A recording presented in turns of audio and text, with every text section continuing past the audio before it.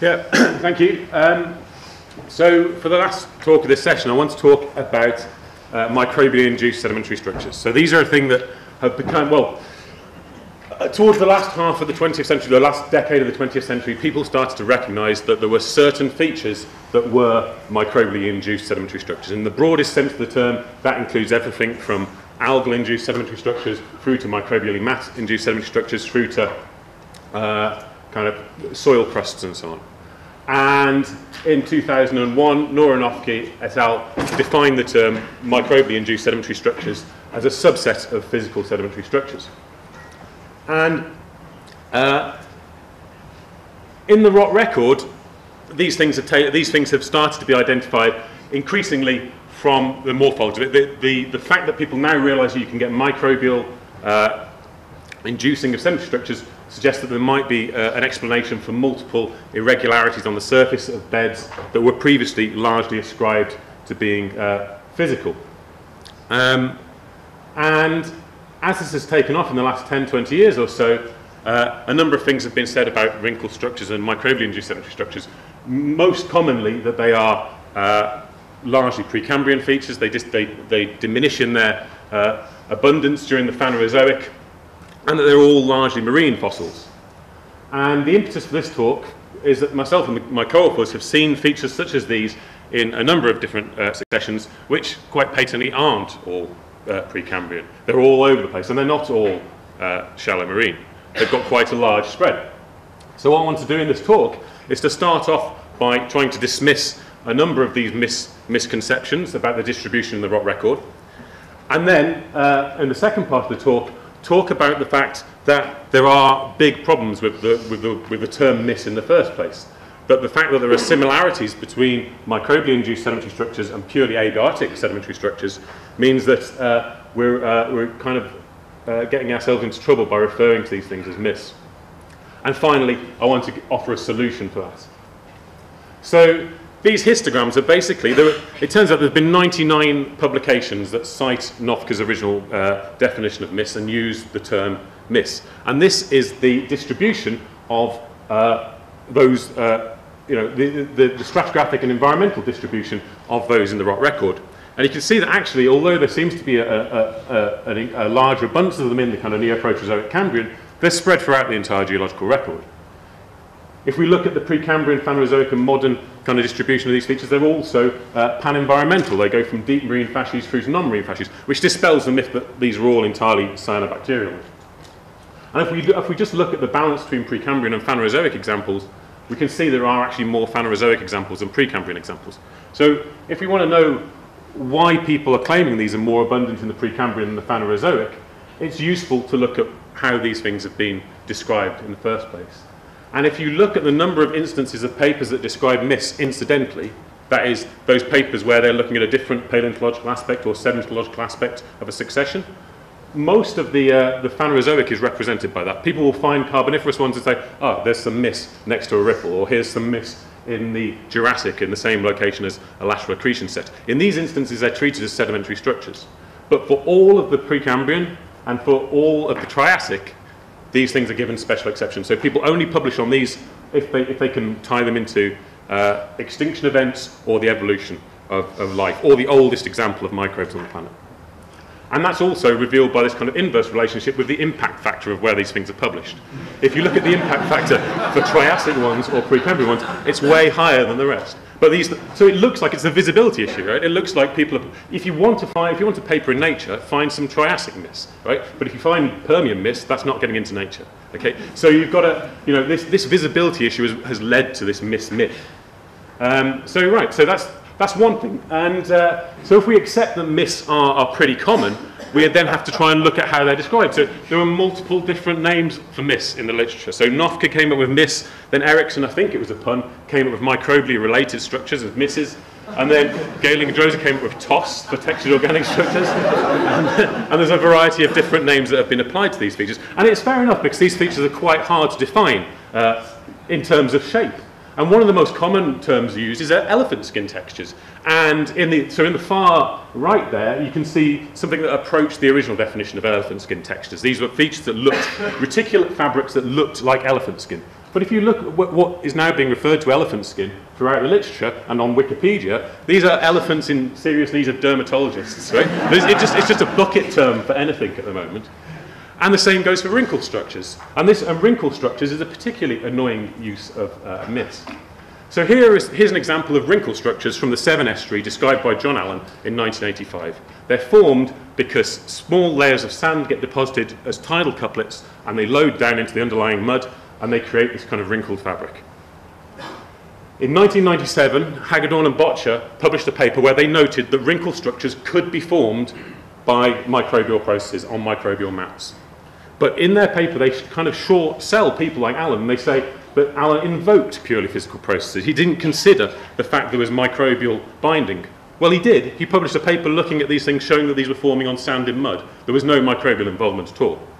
And then later on, so that, that kind of got thrown out the window, and then later it becomes uh, the, the MIS community want to use wrinkle structure only if you can Im invoke a kind of microbial, uh, microbial origin.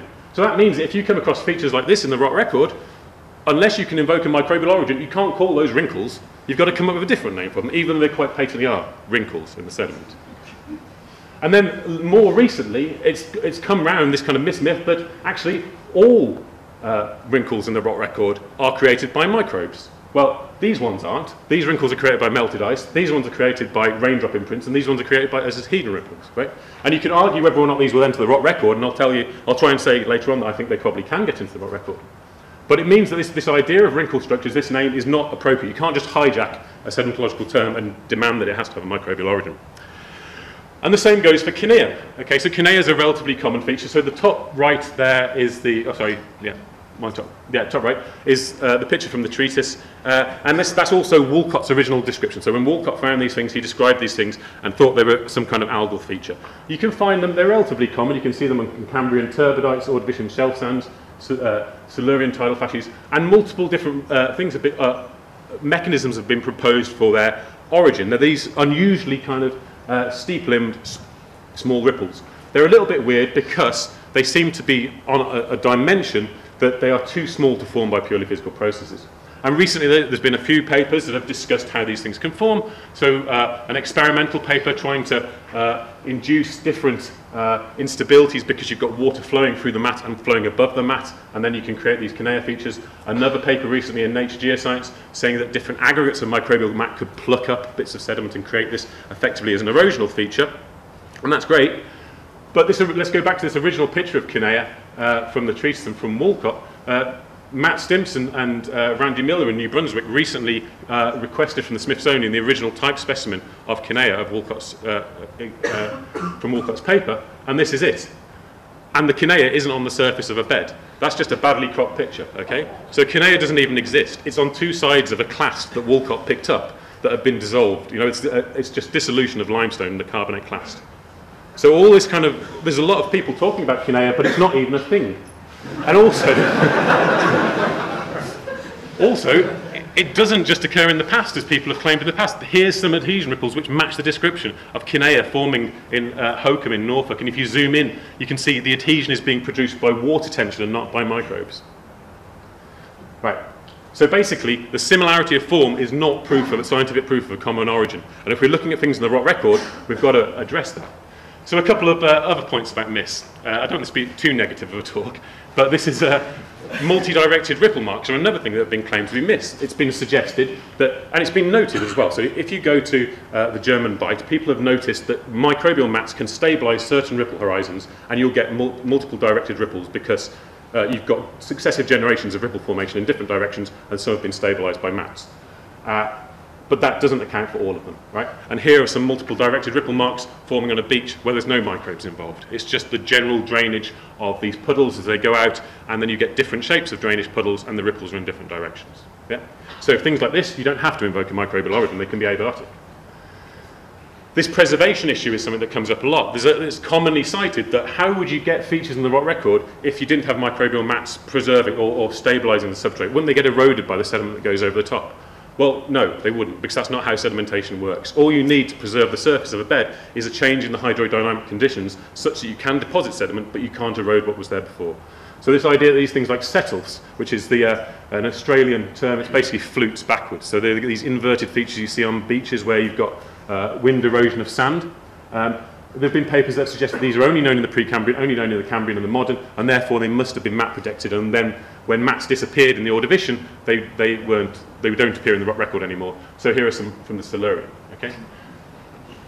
And also this idea of preservation, it doesn't just go for sedimentary structures, because if you look at mists, if you go and you see these things forming, uh, you can see these kind of syneresis track type features in a microbial mat in Norfolk, and there it is zoomed in, and you can see these gas bubbles. Um, when you look at them a few hours later, when you just add water, they kind of heal up. So there are, there's, there's issues with getting microbial features into the rock record as much as there are getting abiotic features into the rock record. You know, just having a magic glue over the top doesn't solve all your problems. So how do we identify these things visually? Well, we can, you can take thin sections, you can look at these things through SEM, you can look for associated geochemical signatures. There are microbial mat features in the rock record, and this, uh, this is a thin section of this area here. But in reality, most of the time, you might not be looking for that. And you might not want to spend loads of money on SEM time having found a carboniferous succession with loads of these features inside. So you need to find, we need to have a way of describing them. And another reason we need to have a way of describing them uh, and visually classifying them is that increasingly people have started uh, looking for these things uh, on Mars and on other planets. And you know, these are pictures, this, this paper came out this year. None of these features particularly look like microbial features. There's plenty of reasons you can have these being uh, uh, just modern erosion and weathering features of, of rocks. And, uh, and basically, yeah, if you're looking for microbial mats on Mars, you might as well also look for the lizards and the flowers and the mice and the pyramids and the yetis, right? So it's not the, so MISS isn't working, right? And what we know is that if we, what, we can solve it, we can class them as a, a subset of sedimentary surface textures. We know we can have abiotic things that create patterns on bedding surfaces. We know we can have microbial processes that create them. And when we find them in the rock record, they can be problematic because we might not have all the information necessary to diagnose them one way or another. So, this is the way that I propose, we, we uh, my co-authors, we propose that we deal with this. Here's a microbial mat up in the uh, Canadian Arctic. And what you can see is that there's areas where there's mat and there's areas where there isn't mat because the mat's been ripped up. And it's the physical processes acting on that sediment, whether or not a mat is present, that, change, that, that leave behind different signatures. So there's two footprints arrowed. And the one on the uh, right over there shows, the, uh, shows a footprint where there's no mat, where the mat's been ripped up, and it's got quite a sharp impression. Towards the left, the, mat has left, uh, the footprint's left an impression, but it's rebounded with the elasticity of the mat. And so if we consider these sedimentary surface textures as being on surfaces which have mat and which, haven't, which don't have mats, and that's been the case since the Archean to the present day, it's the physical processes that operate through those onto that medium that are more important. So it's adhesion, which might, uh, through you know, algal baffling leave these reticular structures, or through uh, water tension create adhesion warts. Or shear might create different types of structures.